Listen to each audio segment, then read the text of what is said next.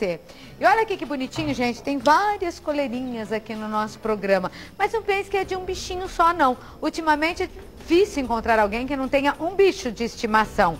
Além de cães e gatos, tem os ferretes, os hamsters, como este que está aqui. Como eles gostam dessa rodinha? Você já notou, não? Você tem um, não? O dia inteiro girando aí nessa rodinha deles, né?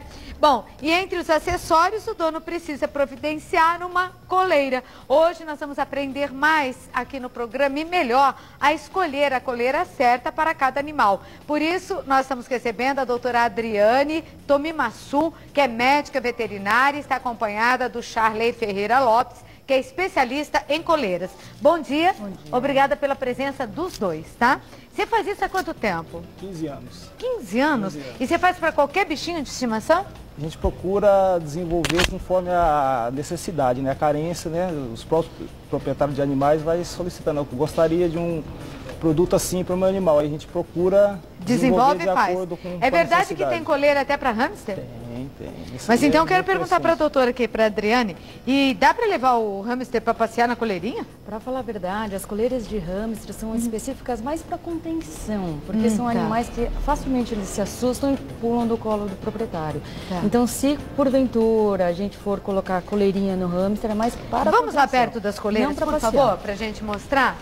Vamos lá. Olá, tudo bem? Bom, então vamos começar com, ele, é, com o que temos aqui, né? Do gatinho. Tá, coleira de gato ela é mais específica para quê? Logicamente que tem muitos gatos proprietários Você segurar diferente para a gente ver a coleirinha? que quer? eles moram em casa, então a gente precisa colocar uma identificação no gato para ele não escapar. Tá. E normalmente elas são elásticas, porque se porventura ele se prender numa árvore, num uhum. galho, num muro, eles conseguem sair facilmente ah, da coleira. Tá, isso é tá? é importante, então, muito na confecção, né? Muito são muitos aqueles que confeccionam coleiras para animais aqui em São Paulo? O mercado é muito crescente. É? Né? Tem, as pessoas Bom, esse mais... mercado só é. se amplia. Dos animais de mercado estimação. mercado moda, né? O mercado modismo, né? E esse, essa daqui é linda, né? Que ela é toda com ah, cristalzinhos. vários tipos, colocam mais adereços. É. Isso é do gosto do dono. Quanto, né? pode, quanto pode chegar a custar uma coleira para gato? Tem, tem peças que chegam até 5 mil reais, semi-joias, né? São semi-joias, né? Que são feitas também, reais, a pedido. Isso. Poxa vida. Ali tem um ferrete, né? E a coleirinha dele? Ou é uma, né? Porque é cor-de-rosa, acho que é uma, né? é uma fêmea, tá com a coleira cor-de-rosa. E aí, doutora, para eles? Ah, os ferretes também, eles, usam, eles são animais super amigáveis, eles passeiam, super curiosos. Tem alguns proprietários que até andam com eles em shopping. O porém é que não consegue andar muito, né? Anda meio metro a cada meia hora, é. que todo mundo vai querer parar. Mas também serve para contenção. Tá? E tem que tomar cuidado que eles têm um pescocinho super frágil. Tá. Então não pode levar trancos muito fortes, que isso pode machucar. Tá certo. Bom, ali nós temos um cão, dois, na, na verdade, né? Dois, um de pequeno e um de médio porte. Uhum. E para os cães, o que tem de novidade?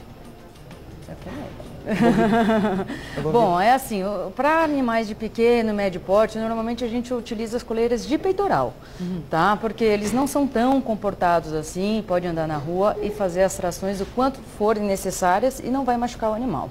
Essas machucam bem menos? Não machucam nada. Nada, nada Não nada. machucam nada. É. Eu sei porque eu já tenho é, uma coleira só que leva dois. Quer dizer, tem. são dois peitorais, mas elas são... Nós temos esses produtos. Tem, não é? Temos, temos, é, é, que já dá para levar dois. Tem dois, demais, tem não? até para três cães já. É só para três? Pra você três tem que fazer cães. um para cinco, assim, porque eu tenho um monte. E você se embaralha lá com o guia de um, o guia do outro, é meio confuso. Para três já tem? Já temos, temos para três. Isso é muito legal, muito, porque muito facilita legal. até a vida muito. daqueles que passeiam com cães ou pessoas como eu que tem vários, né? E quando você leva para passear é um problema. E tem, tem outras que elas vêm com vestidinho já. Tem, tem, tem. Para as fêmeas, tem, né? Toda... O vestido já é uma coleira. Já é uma coleira como tem crescido esse mercado? Mais para os cães, não? Que é mais comum? O gato também é muito crescente. É? Anda junto, né? O mercado né, de animais domésticos é... Tanto gato como tanto gato, o cachorro. Ferro está vindo muito, o hamster também já está sempre, sempre em evidência, né?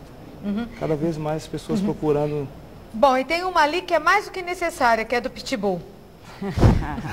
os pitbulls, os pitbulls, eles normalmente eles vão utilizar as coleiras de pescoço de couro, uhum. tá? Com material bem forte. Nossa, essa é bem forte, é? bem forte. Algumas vezes eles colocam eles, adereços da parte externa, uhum. que até se porventura vai proteger o animal, se porventura estiver andando na rua e encontrar um outro animal, um outro que queira morder, uhum. esses adereços de pinos talvez possam ajudar a, a defesa do animal. Tá? Algumas vezes, as raças grandes ou gigantes, a gente também pode utilizar a peitoral. Muitos passeiam com esses animais no parque, andam de skate ou hum. andam de bicicleta e eles usam as de peitoral também para levar o Agora, o, o André que está ali, ele é o proprietário do cão, do pitbull. Qual é o nome do cachorro? Blade. Blade? E quando você sai, você tem que sair com a focinheira também, né? E que isso é lei, né? Isso. É obrigatório. Em São Paulo, Rio de Janeiro, até Santa Catarina, alguns estados, eles têm a lei que obrigam as raças que a gente já sabe que são mais agressivas a passear na rua com focinheira. E hoje em dia existem diversos tipos de focinheira, só adaptar o animal ao uso do, do, próprio, da própria cozinha. Agradecer o André, muito obrigado por ter vindo. Vanderli, muito obrigada por ter vindo aí com... Um é vira-lata, né? Vira-saco, sei lá, hoje em dia, né? e a Yorkshire. E agradecer também a Danúbia, que veio com o gatinho, né? Copinho. É, e a Wanda, que veio com o Ferret, né? Muito obrigado, vocês podem sair. Muito obrigado pela presença aqui no programa. Que eu quero mostrar as outras coleiras que estão ali no balcão. Quanto custa hoje uma coleira? Qual é a média de preço?